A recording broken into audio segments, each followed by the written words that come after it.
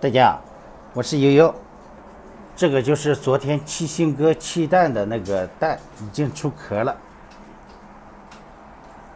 刚才我看了一下啊，这个是第一个蛋，我有做那个标记的，看这里我用铅笔做了标记，这个是没有出壳的。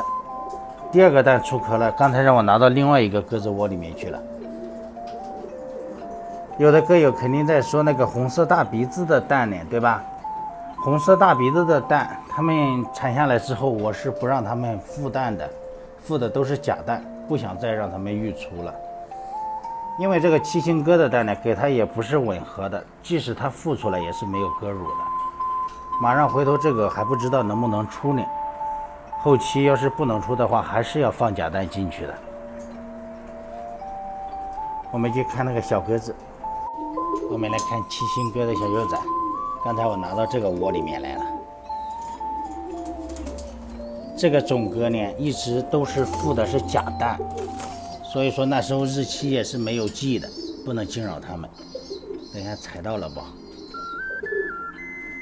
因为我这边信鸽棚里面分棚不好分，所以说只能让它们关在一起，产过蛋之后啊。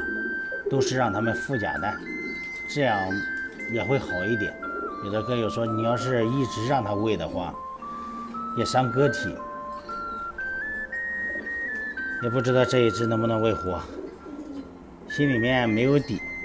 我家里面也有备鸽乳的，回头晚上的时候吧，如果小鸽子嗉囊里面没有鸽乳的话，证明它就是没有鸽乳了。我要给他们补助一点，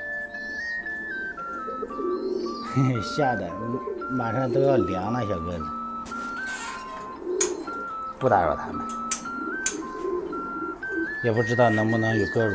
好了，朋友们，今天的视频就分享到这里，我们下期再见，拜拜。